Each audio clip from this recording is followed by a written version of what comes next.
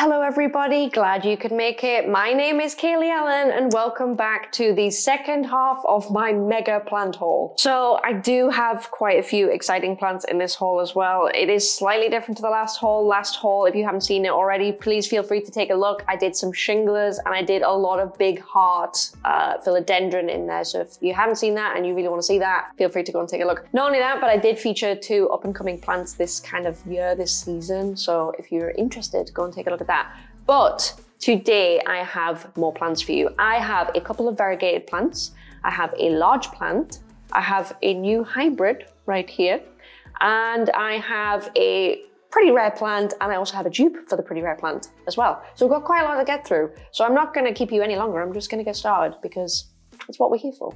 So the first plant I may as well talk about because he is right here. I don't fully know what this is okay? I'll start by saying it's in water because it was a bit limp after shipping, so I'm just recuperating it in the same way I did with my last video with my melanochrysum, which you can kind of see if I just move that out the way there. That's in water too. This is in water for exactly the same reason. So this is definitely a hybrid of Clarinervium and something. I don't fully know what it is. It was sold to me as simply a hybrid of Clarinervium, but I had to get it because of this amazing leaf shape. And if I just pick it up, just so you can see the roots, because why not? I wouldn't normally show off the roots, but you know, there they are in the jar. So there's plenty of roots. They were just a little bit dried up. Here he is. Look at him. So he is different from a Clarinervium in the way that he's longer and pointier. He has ripples on the sides and he has pointier ears than a Clarinervium. The veining is very much the same. It's a little bit more muted, but generally it's it's quite similar. It's quite reminiscent of as I say, I don't know the plant that it's been, you know, bred with. I'm not sure. If you do know, please do list it below because I would love to know what it is. Um, I'd love to get some more actually if you guys are interested in having these. If I can track them down, I would love to get some for the shop because they're absolutely stunning. Really, really beautiful. This one did have a little tear here and here um, through shipping, but it is what it is. Got a little bit of crisping here. I think generally though, it's fine. Obviously, I haven't cleaned it off yet. My bad, I'm sorry. I know that's a bit of a faux pas. But yeah, very, very beautiful. It's definitely got more sturdy now. Yesterday when I picked it up, this leaf here just kind of flopped. So now it's in water, it's completely recovered. I do kind of recommend that if you have plants in shipping and they just, they look really floppy and just not good, don't pot it up. If it's come in moss or whatever, just take it out and put it in water. Honestly, that typically tends to be your best bet in terms of recuperating things just keep an eye on the water. If you're interested in a video actually on kind of like what to do with plants or cuttings when you get them in the mail, uh, both good and bad, let me know. I might think about doing a video on that because I do think it's quite helpful because we all buy plants, right? And we don't always buy them in shops. If you're looking for plants that are on the rarer side, you're not going to get them from a shop. So if you're interested in that kind of thing, let me know. I'll probably do something on it at some point soon. I've got a lot of stuff in the pipeline, but I will certainly put some time together and do that. But yes, I'm going to put him back here so I don't know what he is. I don't know what we should call him, to be honest. He is a hybrid. I'm sure I saw something on the internet kicking about, about, was it Anthurium clarinervium and pterodactyl or something? I don't know. But if you know what it is, please let me know. Right, let's move on. Ooh, should we do the big one yet? Let's do, let's do a variegated plant that is a little bit droopy right now. I've just watered it, but I didn't realize it was drooping because I've just come back yesterday from the shop and I put a load of plants in my office. So it's a little bit droopy. I've watered it. It should perk up. But I'll pick up this little plant to show you guys. Again, still in the same bullshit packaging as we had in the last video, so I'm sorry. It's just in one of my shop pots with a little bit of uh, plastic around it. But this here is a little droopy. Don't get me wrong, it is. And I might need some help with this one as well, guys, because this here is a variegated spathiphyllum. So it's basically a variegated peace lily and honestly it's absolutely stunning. Again, it needs cleaned off. It's pretty terrible that I haven't cleaned them off. I feel like a bad parent, but here you go. That's one leaf. Uh, we have some variegation there and there as well. It's a beautiful little thing. Since I've watered it, it has actually, um, you know, pricked up a little bit. It's plumped up. It's starting to, I think. I think it's it's on its you know, it's on the mend, should we say. Hopefully I haven't damaged it. The new leaf coming through, I think I can see some variegation on it. I'm trying not to peek. It does have some crisping off shipping as well. Can you even see that? Maybe you cannot, I don't know. There, maybe, a little bit of crisping of shipping. But generally, it's, it's good. If I just hold this together, you can kind of see what it would look like. And that's that there. Beautiful variegated spathiphyllum. Now then, if I could have your help for one second, because I know that there are a few different types of variegated spathiphyllum out there. I think I've seen I've seen Domino, Picasso, possibly Sensation, I can't remember, but I don't know what type of variegated I don't know what type of variegated spathiphyllum this says, I'm not actually sure. My guess was Domino, but honestly, I'm guessing. You know what I mean? I, I don't know. So if you have a trained eye or you're into your spathiphyllum and you know which one it is, I'll show it to you there. Please let me know in the comments below because I would very much like to know what this is. I would love to find a larger one of these. They are kind of coming onto the market. I could only get this one. This is the only one I could find. I would love a big one though. Um, but I suppose then again, to be fair, I don't really have the room, so maybe it's a good thing that I am a small one. I don't know. I really, really hope it stops drooping in the next few hours because if it keeps drooping, I'm gonna get very, very sensitive about this plant. So pray for it. but yeah, this is my variegated spathiphyllum. Very beautiful. Ooh, I'll not do the other variegated one yet because it's, oh, it's good. Trust me, it's good. You're gonna love it. So I'll pick up a different one. Let's do Let's do the big one. I used to have one of these plants a long time ago. I think it died. I feel like it got root rot. When I moved, I think I launched the shop and I moved flats all in one weekend. If you guys remember last year, there's a period of time where I was starting up the shop, that was launching. So the same day that the shop launched was the same day I had to vacate my flat. So I had to do admin on the shop the entire time and still move flats. So it was a nightmare. And I think something happened in the crossover when I moved flats. And I don't know if I've just watered it twice and just not remembered, because that's very atypical of me to do that. But anyway, I'm pretty sure it died of root rot. Can't remember. So I got another one. But with the same situation as with the melanochrysum, I kind of wanted the big one. I thought, you know what, fuck this, enough screwing around. I just want a big plant. Like, fuck you. I want a big plant. So I got one. This you have seen on my channel before. It's nothing new, but it is awesome, let me tell you and that is this wonderful, very, very large billieti. Philodendron billieti, if you don't know what this plant is. I will do a head test because honestly, it's required. Here, look, I can't even get it in the damn frame. If I move back with it, there you go. That kind of works, right? So if I move back even further and just hold it back, you can kind of see what's going on with this plant. I have put it in a pot, I potted it up for now. Uh, I've staked it to tie it together because it actually has a few leaves if I just twirl it around here. Obviously, I've kind of, I could have done this yesterday. I could have potted this up, but because I'm going to be doing some more repot videos, it, it, there was no point in potting it up and putting it on a pole or whatever it is I'm going to do.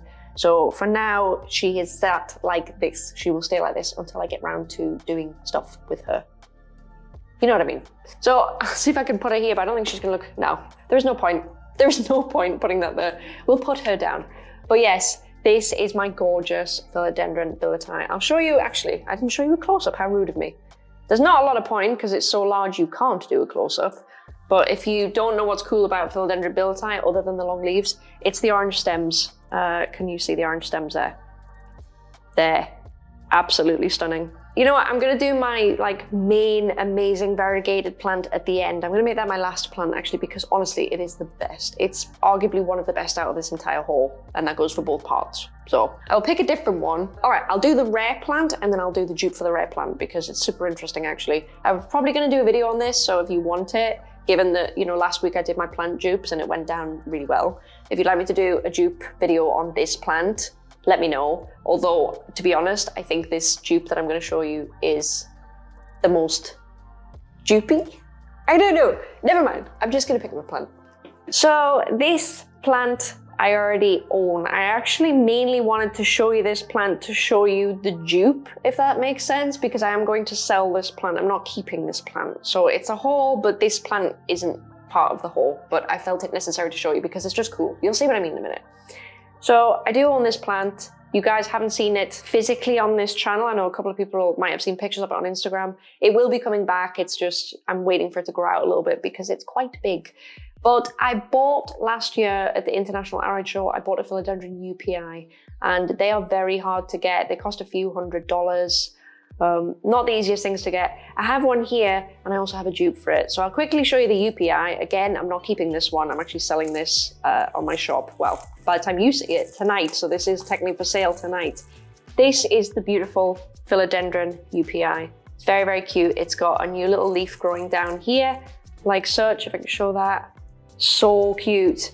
So the leaves are very, very unique looking, very unique looking. And honestly, this plant isn't for everybody. Obviously it's not, you know?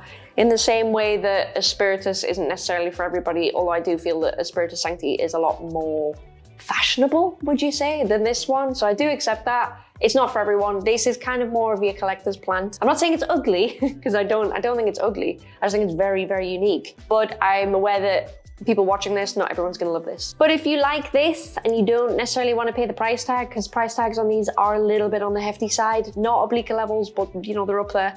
Um, I do have a dupe for you. So I will put that there, although I don't know how well you're going to see that. There is no real way to show that. A lot of you may already know what the dupe is. You may have seen it before. You may just know that this is a, a kind of dupe for this plant. Again, a dupe, I, I said this in my video on Friday, it's not it doesn't mean that the plant looks identical, it just means the plant has a lot of hallmarks and looks visually kind of similar. That's what I mean by a dupe in this sense. So this here is plant I have to show you. And this here, if I can just tip it up gently, is the Philodendron 69686. Yes, that is its name, 69686. If I show you the joepii next to it, you'll see it's actually really close. It's not far off. Obviously, there is some difference there. Make sure both leaves. That's super hard to do, isn't it, really? I don't want to actually tip soil everywhere. Right, we'll get that one there and that one there. See if you can see where the differences are. Obviously the differences here, the, the area of leaf around the midrib, there's virtually none, has tiny little ears and it's got this big kind of bulbous tip on the leaf, whereas this one is a little bit more smooth in form. It's got, it's got more leaf to it, really. Both very, very nice plants. This one will not set you back much money at all. The other one will. So if you're wanting a plant just literally for the shape, then go for this one. If you're like serious about your like collecting game or whatever you want to call it, go for the joepii because the joepii is on a lot of people's wish lists. But as I say, if you're not even sure, even if you're not sure, you can look for this plant or there might be some other similar ones. Again, if you want me to look into it, that's totally fine. Let me know in the comments. So this is the Philodendron 69686 and this is the Philodendron joepii. This is my plant, this is not, this is getting sold. But I do own a joepii and you will see it at some point. It's actually huge, like it's way bigger than this one, wait till you see. I'll try and find a photograph at some point or I'll put it on video on Instagram and you can see it because it's pretty big. So I put these down because I think we just have two plants left. I think. I will get the other variegated plant that I have. So I don't think I've mentioned this plant in a wish list. I don't know why it should have been on there, but I feel like I've mentioned this plant quite a bit recently, and I can't remember what videos I've mentioned it in or why I've mentioned it, but I have mentioned that I wanted one of these, and I have one right here. This beautiful little thing is my variegated ZZ plant. Now then, I used to own a ZZ plant, I think just as I started YouTubing, so this is what, like a year and a bit ago. And I, as soon as I found out about the variegated one, I was like, right, yes, awesome. So I have this one. Now then, full disclosure, this snapped on me this plant, okay? I've actually, this, this, the good bit as well snapped, so this variegated bit here. So what I've done is, I've stuck it back into the soil and I've made sure the soil covers some of the leaves.